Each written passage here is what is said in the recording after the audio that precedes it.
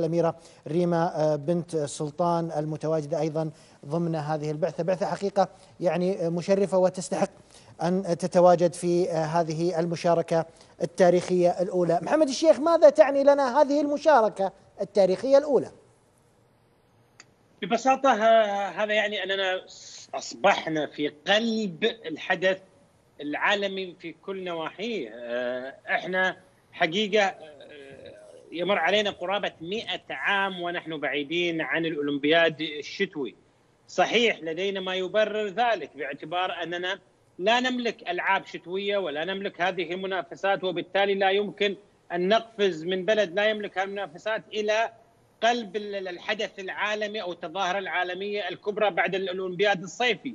اليوم ونحن لم نبدأ حتى اللحظة في الألعاب الشتوية يتواجد لدينا باعتبار أن الرياضيين في المملكة باتوا يعني على علاقة بالرياضات سواء بشغف الممارسة الداخلية أو حتى بتواجدهم في الخارج كمبتعثين أو كمحبين لهذا النوع من الرياضات حتى أن البعض يذهب في الصيف أو في الشتاء لممارسة هذه الرياضات. بعيد عن هذا التواجد ماذا يعني أن نتواجد في الأولمبياد الشتوي؟ معنى ذلك أن هناك قيادة رياضية حقيقية رياضية وحط بين قوسين رياضية حقيقية تؤمن بقيمة الرياضة بكل أبعادها.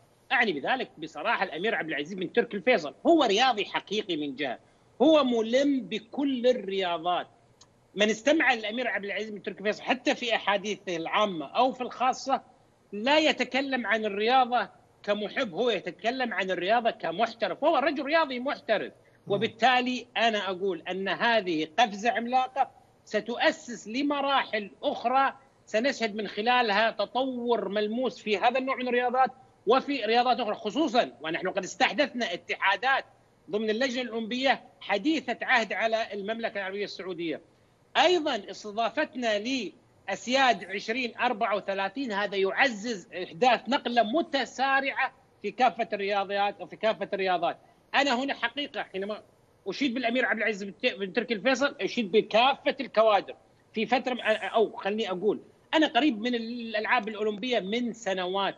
كان أكثر ما تعانيه الرياضه السعودية أن من يستلم زمام الأمور هم إداريين أكثر من كونهم رياضيين والألعاب الأولمبية تحتاج إلى رياضيين قبل أن يكونوا إداريين. نعم هناك معادلة أو تركيبة بين الجانبين ولكن لا يمكن أن نقفز على الرياضة إلى الإدارة ونكتشف أننا ندير مؤسسة رياضية بدون رياضيين. الآن لا أصبح الهرم فعلي من يقف على رأس الهرم هو رياضي وإداري بالدرجة الأولى فبالتالي هو يعرف أن يختار مساعديه ومعاونيه القادم أفضل بإذن الله. يا رب.